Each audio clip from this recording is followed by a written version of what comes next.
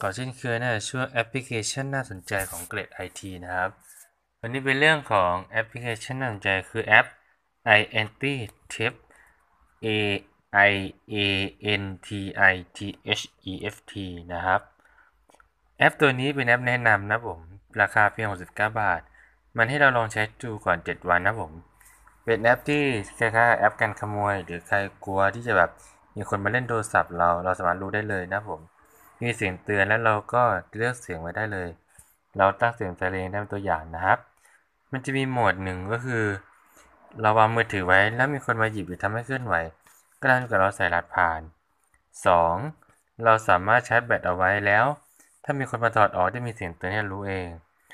3. หากเราใส่กระเป๋ากางเกง หรือใส่กระเป๋าต่างๆแล้วมันหล่นหรือโดนจับออกมา มีเสียงเตือนดังขึ้นมาทันที เราสามารถตั้งไว้ดังกี่วิจากกระเป๋านะครับ และโหมดสุดท้ายเป็นโหมดใส่หูฟังสำหรับคนที่ชอบหลับ และใส่หูฟังคาไว้ ไม่ต้องกลัวใครมาถอดนะผม หรือโทรศัพท์หล่นจะหลุด ก็มีเสียงเตือนให้เราได้รู้ทันทีนะผม แอปนี้น่าสนใจมากแล้วก็ลองเอามาใช้กันดูได้นะผมตามที่ต้องการนะผมเพียงเท่านี้เราก็สามารถเรียกแอปพลิเคชันดีๆเข้ามาใช้ได้แล้วนะครับสำหรับวันนี้ช่วงถามตอบเกี่ยวกับ iPhone และรวมกับช่วงของ